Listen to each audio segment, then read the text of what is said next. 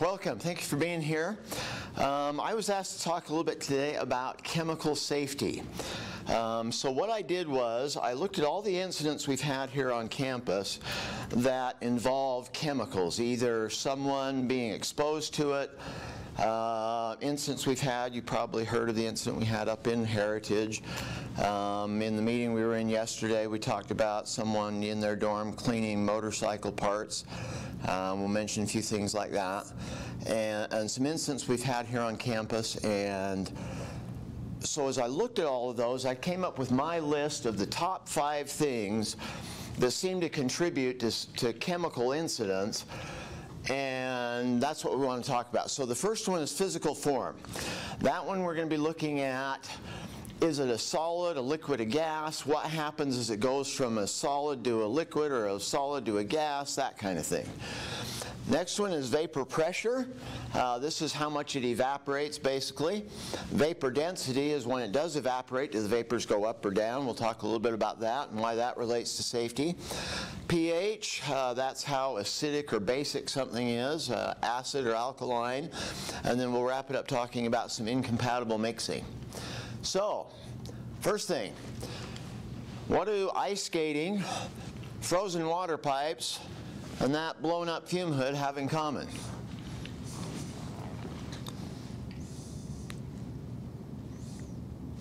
Any thoughts? Pressure? Pressure? Temperature? Pressure and temperature and how that relates to the physical form of it. So let's talk about this for just a minute. This is a phase diagram of water. Basically what it says is, and notice that it's not to scale. We have basically 0 here, 100 here, and 274 out there, and we have 0 here, and 1 here, and 218 right there. So this is not to scale. But what it does tell you though is at a given temperature and given pressure, it tells you whether water is a solid ice, liquid, or water vapor. And so, for example, if you're down here right below the triple point at 0 degrees C, 32 Fahrenheit, and you're at 1 atmosphere of pressure, which is about what we're at here, a little bit below, water exists as ice. And if you increase the temperature, it crosses that line and becomes water. So for example, when you go ice skating, you have that thin metal blade sitting on the ice, and your body weight puts pressure on that blade. So if the ice is down here at one atmosphere and zero degrees and it's at ice, the weight of your body on that blade pushes down, the increase in pressure makes it cross the line from ice into water, and you get a very thin layer of water in between the blade of your ice skate and the ice in the rink, which allows it to slide nice and easily. And then as soon as you go past it, the pressure drops because your weight of your body is no longer on it. Pressure drops at the same temperature, it crosses back over the line and it refreezes behind you, which is why the ice skating rink doesn't all melt when the hockey players are out there going nonstop. So, and then the same thing happens up here at 100 degrees C, uh, 212 Fahrenheit, and one atmosphere. You go, it, water starts to boil and becomes a vapor. Now, the thing to know about that is, as water freezes and goes from a liquid to a solid, it expands. Water is kind of unique that way. Most other things do the reverse. They go from a solid to a they expand as they melt. Whereas water does, which is very nice for fish because otherwise if it wasn't, the ice would freeze on the top and it would sink to the bottom and over the winter the lake would fill up solid ice and would kill all the fish. So God had a pretty good plan for making it less dense. Um, so how does this relate to frozen water pipes? Water freezes, it expands, and it bursts your pipe. Well, here's an incident we had over in the Clyde building a couple of years ago. Now, this reaction vessel here is about a half an inch thick. It's 304 stainless steel, and that disc is, or that vessel is about three inches in diameter and about that tall. Um, now, think about this for just a minute. This, you see the curvature, the bow in that disc? That used to be perfectly flat. Now think, half inch thick, 304 stainless steel, a disc that big around, how much pressure does it take to bow half-inch thick steel that much? A lot. Who has the safety data sheet for aluminum chloride? Okay, so flip open to the tab there and read me off the density. I think it is in, maybe in blue, the one that's 2.4? Okay, what is the density of aluminum chloride at room temperature? Uh, 60 degrees Celsius, okay, 60, uh, 2.44 grams centimeter. 2.44 grams per cubic centimeter. So picture like a little sugar cube, right? About a half inch square. If you, that was made of aluminum chloride and you put it on the scale, it would weigh about 2.4 grams. Now, you melt aluminum chloride, becomes a liquid. What is it at its melting point? Uh, 392 degrees Fahrenheit at 1.3 grams per. 1.3. When, so when it's a liquid, it's 1.3. When it's a solid, it's 2.4. As you melt it, where does that other 1.1, 1.2 grams go to? It's got to go somewhere, so it expands. Well, what happened in this incident was they packed that stainless steel vessel full of aluminum chloride didn't leave any vapor headspace on it, and then put it on a hot plate and melted it. And when it reached its melting point, the pressure inside there blew the thing apart and destroyed the fume hood. So just to give you an idea here, it blew the top out, blew the side off. These are all tempered glass. So what I did for this picture is these panes here slide, like a sliding glass door in your house. I slid those two open, and so this picture, I'm standing right here looking into the hood. So there's the one sash, there's the other one over there, and I'm looking in. That hole that you see there is bigger than a basketball. Now that countertop there is like three quarter inch, fiberglass reinforced, phenolic resin, bulletproof, impervious to everything, and it blew a hole right through it. I mean, just a phenomenal explosion that just destroyed the fume hood. And the only thing they did was put some aluminum chloride and a few other things. It wasn't pure aluminum chloride, but they packed it in there, sealed it shut, and put it on a hot plate. Now, there was no malicious intent there. They obviously didn't do that intentionally, but it was a simple oversight of not knowing what happens to that material when it goes from a solid to a liquid and not knowing the properties of the chemicals they're working with. So let's talk a little bit about vapor pressure and vapor density for a minute. So this is basically evaporation. So when you have a liquid, if it has a fairly high vapor pressure, the molecules of whatever it is, acetone, gasoline, benzene, you know, whatever, some of those molecules will have enough energy that they just escape off into the air. Water will do it. Water evaporates. And we'll talk more about that here in a minute. But you notice all those gases escaping are all above the liquid level. When they happen below it, when you heat it up, there's enough energy in them that they create a gas down below the liquid level, and that's when you get boiling. That's the difference between boiling versus evaporation. So we'll talk more about vapor pressure here in a minute. Vapor density is after those vapors do come off, and they're in the air, do they tend to go down to low-lying areas or do they go up? So for example, air as a reference value is about 1. Carbon monoxide is very slightly less than 1. So what that means is you have your plugged vent on your furnace in your house or you decide to bring your barbecue grill inside the house and burn it inside instead of outside, and you have all this carbon monoxide building up, the vapors will not, like, like a helium balloon, they will not go out and up and into the atmosphere and disappear. They don't go down and hug the floor to where you're fine unless you're laying on the floor. They just mix in the air and it just floats there and stays there, and you're continuously breathing it because it's right in your breathing zone.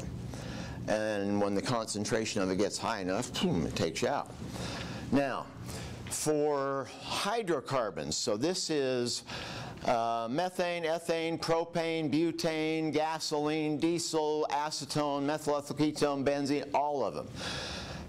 All hydrocarbons other than natural gas, methane, all the others have vapor densities that are greater than one, which means that in air, they will tend to find low-lying areas, and we'll see why that's important here in a minute.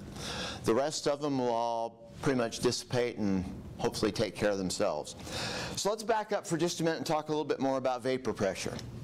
They have a device, this is under vacuum, so there's basically no air in here, and in the little trap here they put in some mercury, so there's no air in here, and they sit at level. So what the idea is, you take your liquid, you put it in here, and as it starts to evaporate, those molecules exert some pressure, and it starts to put a pressure downward on this column of mercury here, and it starts to push it down on one side and up on the other. So the vapor pressure is a measure of how far is it from there to there. And it can be given in millimeters of mercury, inches of mercury, hectopascals. I mean, they're all, you'll see them on safety data sheets, different units, but it's like feet versus yards. It's just a different, you can convert back and forth. We'll see that here in a minute. So, for gasoline, now just to compare, the vapor pressure of water is about 17 millimeters of mercury, so about three quarters of an inch at room temperature. 20 degrees C is about 70 degrees Fahrenheit. So let's back up here a minute. So if you were to put water in this device, what it's saying is you'd get about three quarters of an inch of mercury pushed up in that tube. So, looking at diesel, the vapor pressure of diesel is less than 1 relative to water, which is at 17, but you notice the vapor density is 3 quite a bit heavier than air. So diesel vapors, although there aren't a lot of them, especially at 20 degrees C, what is there will tend to go low. Gasoline, by contrast, still has about the same vapor density as diesel, but the vapor pressure is about 450 to 750 millimeters of mercury, substantially more than water. So it evaporates or off gases more. Exactly. So gasoline is much more volatile, has a higher vapor pressure, it evaporates faster, there's more of it coming off into the air. So let's see a quick example of that.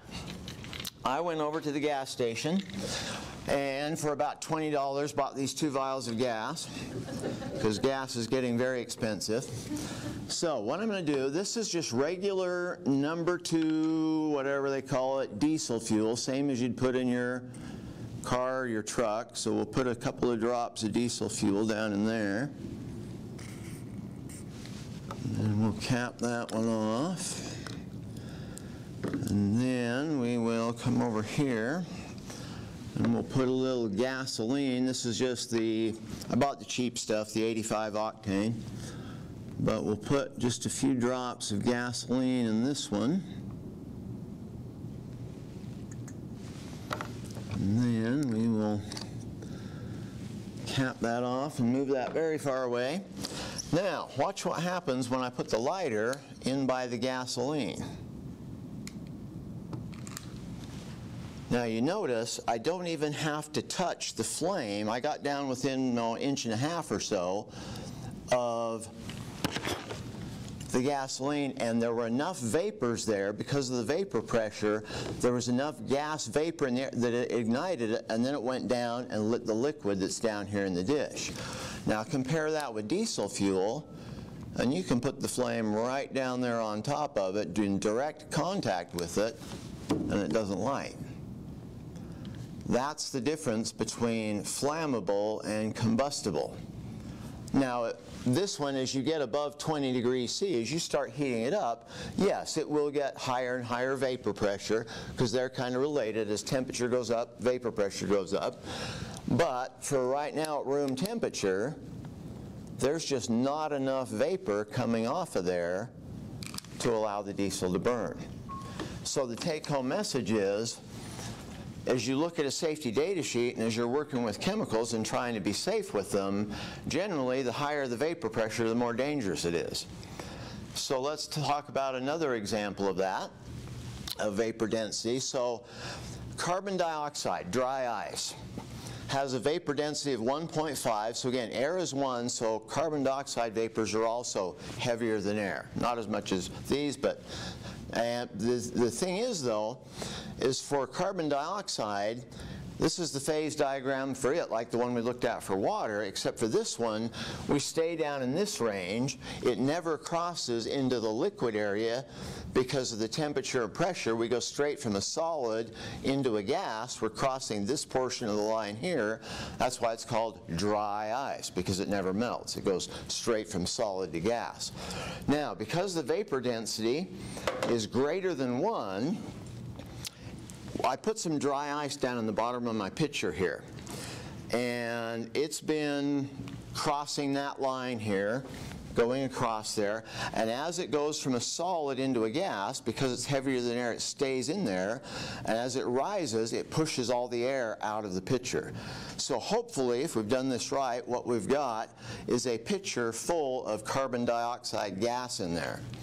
And again, the vapor density is heavier than 1, so it tends to go to low-lying area. So let's light our candle in here. And then watch the candle and watch what happens as we pour carbon dioxide down our tube here.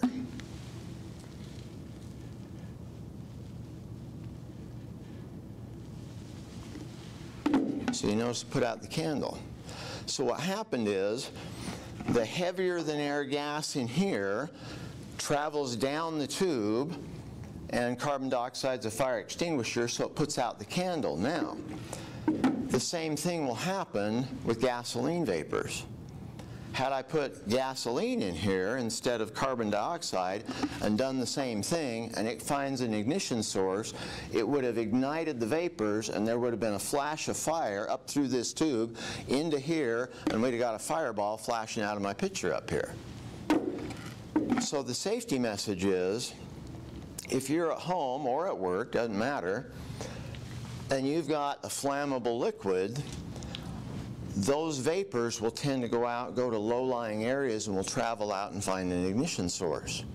So if you're out working in your garage and your water heater with the pilot light or your brother-in-law using your electric drill or whatever, if there's an ignition source over there, those vapors, because you've got your open can of gas cleaning your parts or doing, you know, pouring in your lawnmower or whatever, those vapors can find that ignition source and just like this, flash back to where you are if there's enough vapors there and ignite you. So you really want to have good ventilation and make sure that you don't build up enough of a flammable atmosphere that you can have that kind of thing happen. And it's not just flammable. Um, here's another one. Notice we have up here at least 14 worker deaths since 2000 related to bathtub refinishing with stripping agents containing methylene chloride. Methylene chloride is not flammable, but this was enough of a problem that OSHA back in 2013 put out this warning. Have you ever seen the TV commercials for like one day kitchen and bath? They come in, well what they do, usually, not always, but usually, they don't rip out your existing bathtub and put in a whole new tub. What they do is they prep your old tub for a liner and they put a new liner into your existing tub to refinish it. Well, to get that old tub ready to accept the liner, they put in this solvent containing methylene chloride. The problem is methylene chloride has a vapor density of like 2.9, it's almost about like the other hydrocarbons. So it's much heavier than air and it has a very high vapor pressure on par with gasoline. So it's putting off a lot of vapors, it's heavier than air. Well, so they go reach down in the tub and they're like putting their goo on the tub to get it ready. Well, the vapors can't go down the trap in the drain of the tub because there's water in there, so the, the vapors can't go down the drain. They build up in the tub just like they did in that picture, and then the plumber, whoever comes in, sticks their head in there, and they get no oxygen, they pass out and drop into the tub, and by the time the homeowner, who's off in their kitchen doing whatever, comes in to check on the progress, the guy's lying there dead in the bathtub.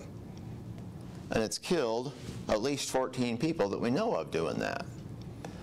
So it's not only flammability, but anytime you have those heavier than air vapors, you need to make sure you have adequate ventilation and don't get into an area where you're in an oxygen deficient atmosphere. Okay, let's talk about the pH scale for a minute. Goes from 0 to 14. Pure water is right in here in the middle at 7. If you go way down here on this end, you have the strong mineral acids. So this would be things like hydrochloric, which is very commonly used in pools and toilet bowl cleaners and things like that. Um, sulfuric, which is in your car battery. Um, you're coming up a little bit more. Lemon juice is about a 2. Uh, all the Coke drinkers here. If you ever looked at the label, Coke has phosphoric acid in it, at least the last bottle I looked at did. I'm assuming it's still in their formulation, but it's about two and a half or so. Um, so what you do is, is when you drink your Coke, then afterward you go drink your milk of magnesia, which has pH of about 10, and then that one kind of counteracts that one and they react and it becomes more neutral, which is why that's an antacid, because one offsets the other.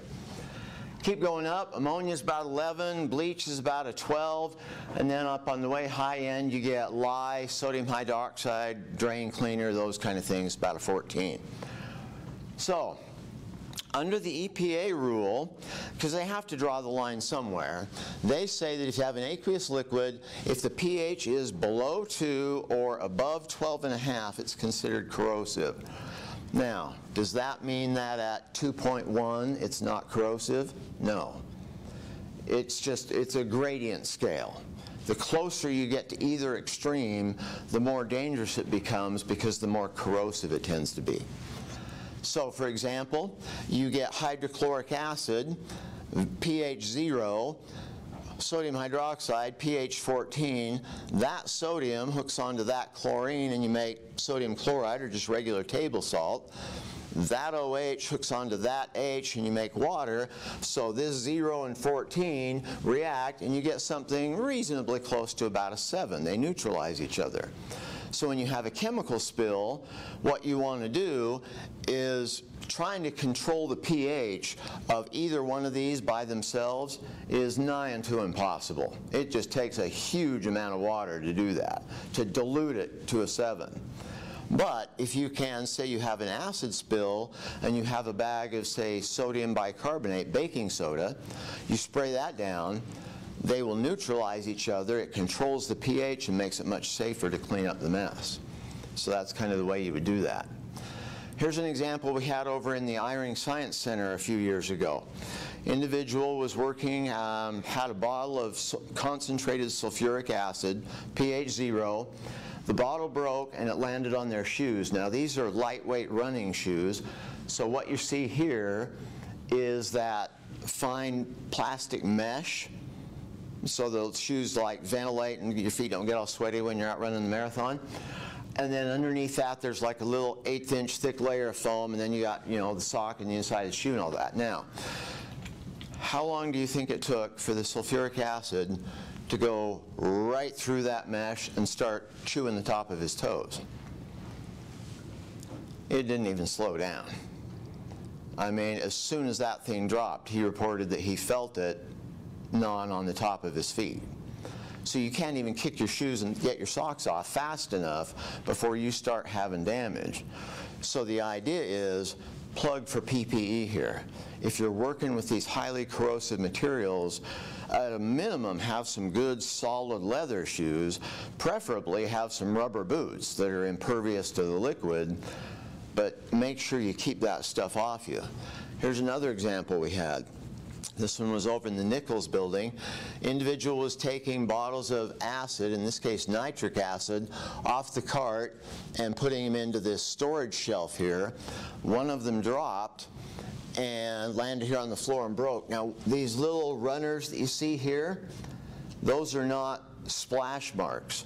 Those are where the splash started dissolving and buckling the epoxy paint right off the, off the concrete floor. This, all this discoloration you see here, that part of the floor used to be all this color. It was, I mean, as soon as it hit, it just started blistering the paint, peeling it off, deteriorating it, discoloration, all that kind of thing. And it was, it started almost immediately. Now, unfortunately, the individual that was involved in this was wearing safety glasses, but one of the drops went that direction and got in her eye. Now, we were able to get her to an eye wash very quickly. There was one nearby. We got her in, flushed the eyes for 15 minutes. She wasn't blinded, but there was some permanent vision damage there. And all it took was that one little splash drop for a matter of a second or two before she got to the eye wash and the damage was done. So it becomes very important dealing with these kind of materials to make sure you have appropriate PPE on, keep it off you. Okay, let's watch this video real quick and then we will talk about what happened. A friend tells us Ryan Baldera was an amazing guy who was always willing to help others. The 32-year-old succumbed to fumes during a hazmat incident at the Burlington restaurant where he was the general manager. We believe it's a tragic accident. Burlington's fire chief says their investigation found the incident was caused by an inadvertent mixing of two common cleaning agents. The off gases that are produced by the chemical reaction, um, it can be deadly, and unfortunately, last night, that was the case. A worker used a solution called Super 8 to scrub the kitchen floor, but a second cleaner called Scale Clean had apparently been knocked over. He stated that he, he, the- he saw the chemical actually turn to a greenish color, and that he saw bubbles forming. The worker escaped outside, but General Manager Baldera tried to squeegee the remaining solution away, the action itself causing more of a chemical reaction. Today, commercial cleaning crews were inside the closed restaurant as the fire chief determined the incident was an accident. I want to make this perfectly clear that this wasn't an employee mixing two chemicals into a bucket. This was an employee using one chemical that unfortunately was not aware that the second product had spilled. OSHA is also involved. They are investigating, and it'll be up to the Burlington Board of Health to decide when, if the restaurant will reopen. Now, kind of a sad story, but let's talk about this for just a minute. Ryan, 32 years old, if you know the backstory on him, uh, was reasonably newlywed. He and his wife had just had their first child a couple months before. I think the child was maybe three or four months old, something like that. I don't remember for sure. But this guy, I mean, he's working as a restaurant manager. He's not making a million dollars. He's probably just out there trying to do his job, trying to do the right thing, trying to support his family. He's, he's responsible for the restaurant. He sees a mess. His worker has to bail out because he's coughing and gagging and wheezing. And he's just trying to protect his what he's responsible for. Goes in, starts squeegeeing it out. Well, what happened there? Who's got the safety data sheet for uh, Scale Clean? Okay, so look on the front there. What is the appearance of Scale Clean? What do you mean by appearance? Uh, down toward the bottom there should be highlighted. Aluminum chloride hexahydrate, Okay. Citric acid monohydrate, Okay, so citric acid, so we, an aluminum chloride is a type of acid. We have citric acid there, so we have an acid compound. And next line down there, what's the appearance of it? Uh, appearance and odor is white or off-white granules, like coarse salt or sugar. Okay. And does it have an odor? No odor. No odor. So you have a solid material here. It's a solid, doesn't have much vapor pressure, so you're not smelling it. And it looks like regular, like little granules of table salt or, granular sugar. Now, we're not talking a big pile of it there on the floor. What had happened, as I understand it, was that it had spilled, they had cleaned it up, but there were still the little, these little, you know, grains of salt kind of looking things that were in the cracks in the concrete and, you know, in the pores of the cement or wherever. I mean, trace amounts that weren't swept up all the way. Now, who's got the safety data sheet for Super 8? What's the primary ingredient of Super 8? Sodium hypochlorite. Sodium hypochlorite, also known as bleach.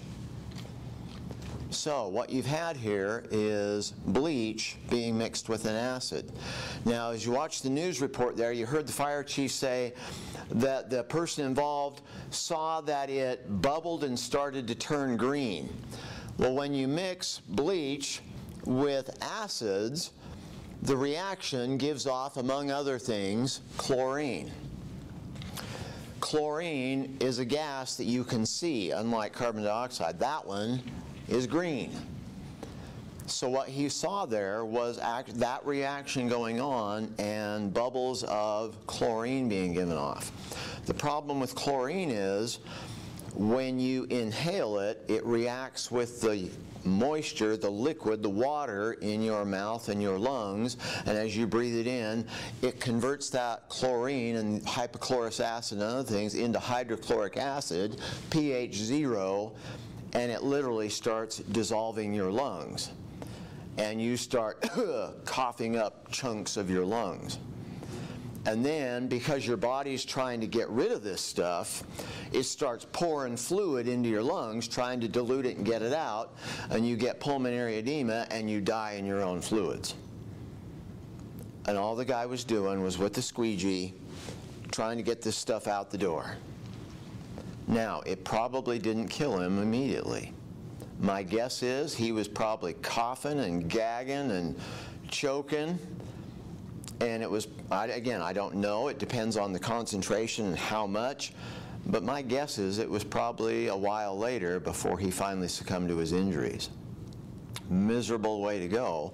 But if you ever look at the bottle of a of Clorox, on the label it will say, warning, do not mix with other acids or other household cleaners. That's why. Well, you can also react it with ammonia, and it'll give off chloramine. Not as bad as chlorine, really, but that one is an irritant, and that one will take you out as well.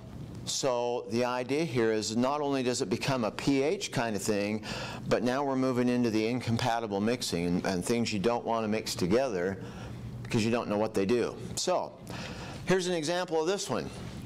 I went over to Lowe's and for about $6 I bought this bag of pool shock. This one is calcium hypochlorite and it's a white powder. Uh, that's the stuff you would like put in your hot tub or your swimming pool to chlorinate it, kill all the germs. So it's readily available. You can go anywhere you like and buy that. After I left Lowe's, I went over to AutoZone or Pep Boys, I don't remember where, somewhere, and got my jar of DOT 3 regular brake fluid. Now, those are two that very easily could be in half the homes in America, especially if you have a hot tub or swimming pool.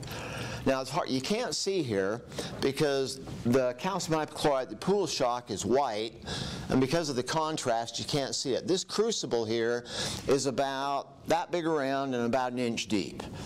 And I put about, oh, maybe one tablespoon of pool shock down in here, and then with a pipette, kind of like the ones I hear used here for the gasoline, I put in about five or ten drops of brake fluid, and notice that after I put the brake fluid in on top of the pool shock, I backed off and didn't touch it. So let's watch this video here and see what happens.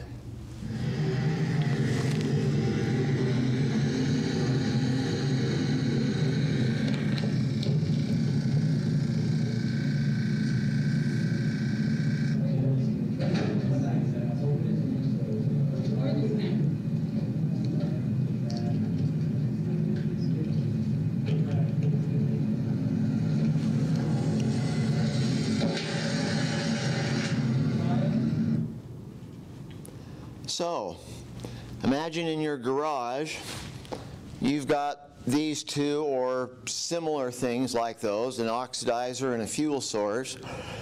And because we're in an earthquake zone, you have an earthquake and those two fall off the shelf. Or one of your grandkids is out playing outside and the ball goes bouncing into the garage and knocks them off the shelf on the floor. And 60 seconds later, without doing anything, your house is on fire. Or you are here on campus somewhere and you've got these two chemicals sitting in a storage cabinet in your work area. And you know this is just plastic. It's high density polyethylene. It springs a little leak and some of it leaks over here and you get a reaction going.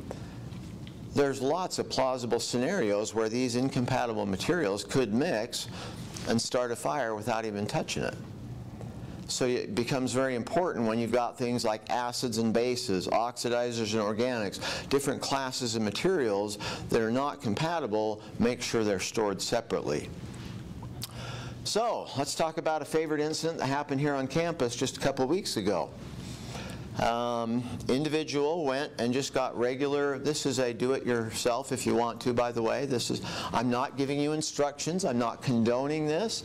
I'm just saying it's available to you if you so choose. But you didn't hear it from me, so you can't sue me. I'm putting out my disclaimer.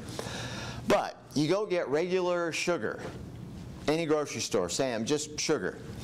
Then you go to uh, like the garden center at Walmart or IFA Country Store, wherever you like to shop for garden stuff, and you can get a 20 pound bag of potassium nitrate.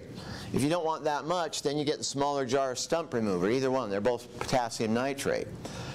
Potassium nitrate is analogous to the pool shock here, it's an oxidizer. And here you have your fuel. So this, in same like we saw here, this is your brake fluid, this is your pool shock. Now, what the individual was doing in their dorm was they were mixing these two, making homemade rocket fuel. Now, fair credit here, just to be balanced, you can do this. It's not a tremendously high hazard. I've done it myself. Um, the reason it's commonly called rocket candy.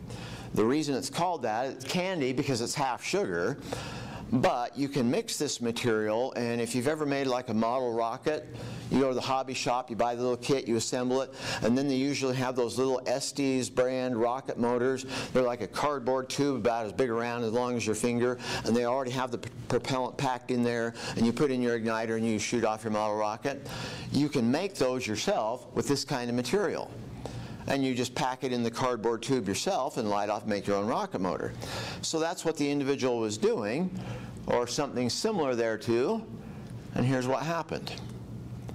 The problem is they had a huge bag of that and a huge bag of that, and it was on the stove in a stock pot, and the heat ignited the mixture. Now this one takes off on its own. This one here generally requires a heat source, which happened to be right there on top of the stove. And because the material provides its own oxygen and things like that, those are very energetic fires. They're, they're not like this one where you get this nice little gentle little flame going. No, this one, it takes off with a forceful flame and they are very difficult to put out once they get started. And so it just basically erupted into the whole kitchen and basically destroyed the dorm. And again, just mixing things that are not compatible. So watch what, watch what you're working with. So, what did we learn today as we wrap things up? Uh, the state of matter matters, whether it's a solid, a liquid, a gas. What properties does it have? Is it like water that it expands when it freezes? Is it like aluminum chloride that it expands when it melts?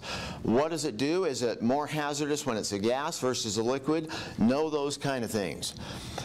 Generally speaking, the higher the vapor pressure, the more dangerous it is. The more stuff there is coming up into the air, whether it's flammable or toxic or whatever, the more of it isn't contained in that dish or in that container, the more that it's out in the air, the more hazardous it is. Vapor density, if it's less than one, it rises. It's like a helium balloon. You let it go, it goes out, it goes, finds the holes in the roof and disappears. If it's greater than one, it finds the low-lying areas and can find ignition sources or build up and create a- an oxygen-deficient atmosphere. And if it's about one, it will just hang out fat, dumb, and happy in the air and just stay there. Uh, pH, avoid the extremes. If it's less than 2 or above 12, be aware that it's going to be corrosive, and we've had incidents on campus because of that. And last but not least, um, be cautious when you mix things together. Some chemicals just don't play well together.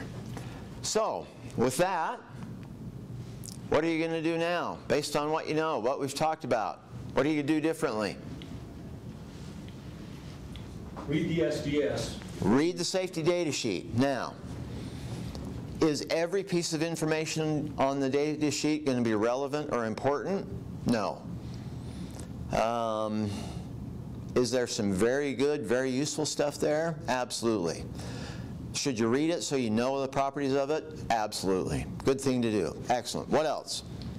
I think if I don't understand what a chemical can do, I probably should reach out to somebody Yeah, if you don't know, if you're new, if you're new to the chemical, that's why OSHA has the Hazard Communication Standard and GHS and all these other things that are out there so that employees, if you're working with chemicals, you're required to be trained before you start using with them. And if you don't know, go ask your supervisor, ask the boss, ask somebody who knows about it, ask the manufacturer, call them up and ask them, get some information about it. Absolutely. What else? Be cautious how you store chemicals. Yeah. Um, if they're flammable, keep them in one of those, they're usually yellow, not always, but something that will contain the flames. Um, fire resistant, yeah, absolutely. If they're incompatible, give them secondary containment and keep the two tubs apart where they can't mix. Um, maybe wear some PPE if you were dealing with things. If you got flammables, wear a fire retardant lab coat or you know something like that. Corrosives, wear your goggles, whatever. All right, so we're done. Any questions or any comments about any of that? Okay, well, thank you for your attention. Thank you for being here, and we are done.